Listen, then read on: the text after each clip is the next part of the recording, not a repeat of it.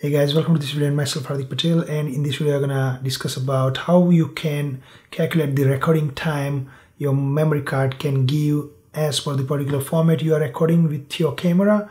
So in order to find out the or calculate the recording time you must have to consider two things. First of all is the space of the memory card. So just imagine for an example I have this memory card with 64 gig space now 64 gig memory card won't really give you 64 gig space. So just imagine this memory card, the 64 gig memory card would give you 63 gig for an example. I will calculate that way. Another thing is the the writing speed mentioned on top of the memory card is 60 Mbps which the MB mentioned here is megabyte because the M and B both are capital um, the recording format, for an example, I am recording on my GH5S. Uh, the recording format I would like to go with is Cinema 4K, uh, 10 bit with all I. If you are going with just a normal 10 bit that gives you 150 uh, megabit per second uh, speed format, whereas all I gives you 400 megabit per second format the mbp as mentioned in that format is small mbps which is like m b small that means bit not byte and ps per second. So in order to calculate the exact recording time first i have to calculate the megabit per second into megabyte per second. Uh, 400 megabit uh, if i convert to megabyte is 50 megabyte. This format will consume 50 megabyte um, space per second. Now if I record 60 seconds with this format that means Sixty times fifty megabyte is equal to three thousand megabyte.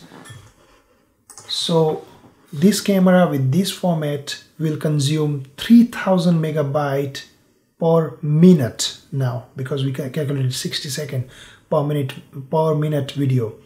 So for the per minute i am using 3000 megabyte out of this memory card. Now let's calculate the megabyte into gigabyte. So one gigabyte is 1000 megabytes so 3 gigabyte. So per minute it will use 3 gigabyte. 64 gig memory card just imagine it is giving me 63 gig space so if I consider 63 gig space divided by 3 gigabyte which is 3 gigabyte per minute so 21 so this memory card will allow me to record for 21 minutes if I go with Cinema 4K 10 bit with 400 megabit per second format recording. Now same way let's quickly calculate with the second one which is which is cinema 4k 10 bit normal you know recording speed which is 150 megabit per second this camera gives. So 150 so first i have to calculate 150 is equal to 18.75 megabytes. Now 18.75 megabytes per second times 60 seconds in order to find out the recording space per minute. So it is using 1125 megabyte per second space for per minute recording. So now let's convert 1125 into gigabyte which is 1.125 gigabytes Now, if I consider 63 gig space out of this 64 gig memory card divided divided by the 1.125 gigabyte. That will give me the right answer in the end how much recording time it will give.